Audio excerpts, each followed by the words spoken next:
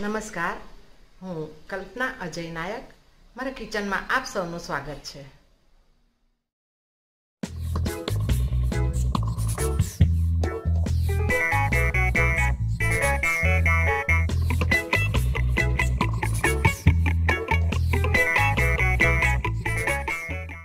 Friends આજે આપણે મરીવાળા સફેદ ઈદળા આવે છે, એ બનાવવાના છીએ.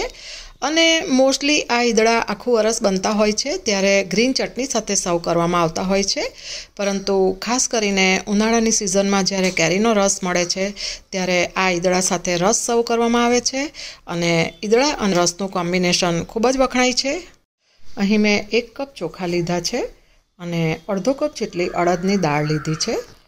આ ચોખા જે લીધા છે, એ વાટલા ચોખા કહેવાય છે.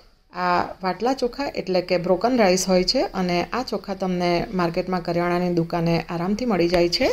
અને આની બદલે તમે આખા ચોખા લો તો પણ કશો વાંધો નહીં. પરંતુ ઘણા લોકો આ ચોખા દળાવવા માટે અથવા તો આવી રીતે ઢોકળા ઇડલી વગેરે કરવા માટે આખું વરસ માટે ભરતા હોય છે. એથી મેં આ વાટલા ચોખા લીધા છે. હવે આ બંને દાળ અને ચોખાને આપણે બેથી ત્રણ વખત પાણી વડે સારી રીતે ધોઈ લઈશું અને ત્યારબાદ બંનેને અલગ અલગ પાણીમાં પલાળી રાખીશું. લગભગ સાતથી આઠ કલાક સુધી. શિયાળો હોય તો એકાદ કલાક ઓછું પલળે તો પણ ચાલે. જુઓ, આપણા દાળ અને ચોખા સરસ રીતે પલળી ગયા છે. દાળ પણ એકદમ સરસ નરમ થઈ ગઈ છે. તો હવે આપણે આ બંનેમાંથી પાણી નિતારી લઈશું અને ત્યારબાદ થોડું પાણી ફ્રેશ ઉમેરવાનું અને ત્યારબાદ એને મિક્સરમાં ગ્રાઇન્ડ કરી લઈશું અને થોડું ઝીણું દળવાનું છે.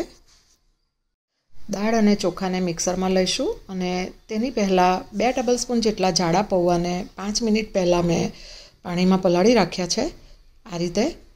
તો એ પણ ઉમેરી દઈએ અને દાળ, ચોખા અને પૌવાને સરસ રીતે આપણે ગ્રાઇન્ડ કરી લઈશું.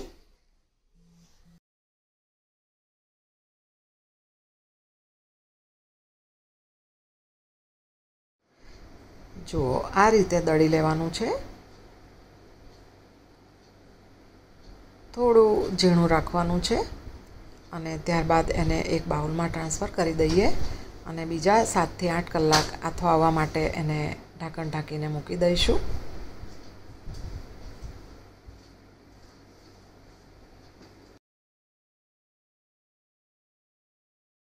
આઠ કલાક થઈ ગયા છે અને તમે જોઈ શકો છો કેટલો સરસ આથો આવી ગયો છે.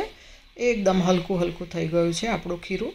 અને હવે એમાં આપણે સ્વાદ પ્રમાણે થોડું મીઠું ઉમેરીશું.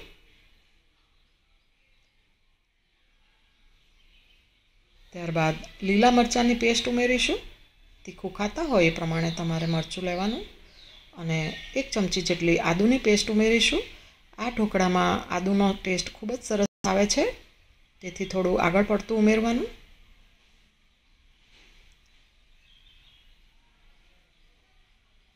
ત્યારબાદ વન ફોર ટીસ્પૂન જેટલો ઈનો લઈશું.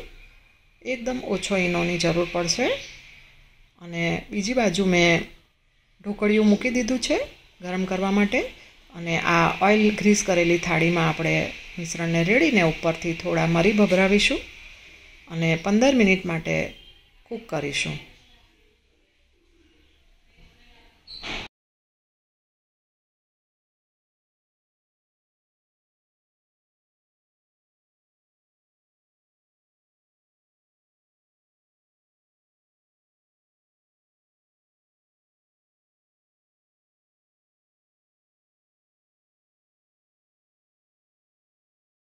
મોસ્ટલી આ મરીવાળા ઢોકળા પર વઘાર નથી રેડવામાં આવતો. ફક્ત આવી રીતે સાદું તેલ ઉમેરીને સર્વ કરવામાં આવે છે. તમને પસંદ હોય તો તમે રાઈ અને તલનો તેલમાં વઘાર પણ કરી શકો છો. હવે થોડી કોથમીર ઉમેરી. જુઓ, તમે જોઈ શકો છો, એ એકદમ જાળીદાર થયા છે અને એકદમ હલકા હલકા પોચ્ચા રૂ જેવા સરસ ઈદળા આપણા તૈયાર છે. એકદમ સોફ્ટ અને ટેસ્ટી. અને આવા પોચા પોચા ઈદળા રસ સાથે ખાવાની મજા આવી જાય. તો ફ્રેન્ડ્સ તૈયાર છે આપણા મરીવાળા સફેદ ઈદળા. એકદમ સ્પોન્જી અને એકદમ ટેસ્ટી એવા તૈયાર છે. અને આ ઉનાળામાં કેરીના રસ સાથે તમે ચોક્કસ બનાવજો. અને ઉનાળો ન હોય ત્યારે ગ્રીન ચટણી સાથે સર્વ કરાય છે. તો તમે પણ ચોક્કસ બનાવજો. અને જો તમને મારી આ રેસીપી ગમે, તો મારી ચેનલને લાઇક અને સબસ્ક્રાઈબ કરજો. ગમે તો તમારા ગ્રુપમાં શેર કરજો અને તમારો એક્સપિરિયન્સ મારી સાથે જરૂરથી કોમેન્ટ બોક્સમાં લખજો, જેથી મને પણ કંઈક આનંદ થાય અને કંઈક નવું જાણવાનું મળે. તો મળતા રહીશું એક નવી રેસીપી સાથે. ત્યાં સુધી ઘરમાં રહેજો, સ્વસ્થ રહેજો, તમારા પરિવારનું ધ્યાન રાખજો. Take care and goodbye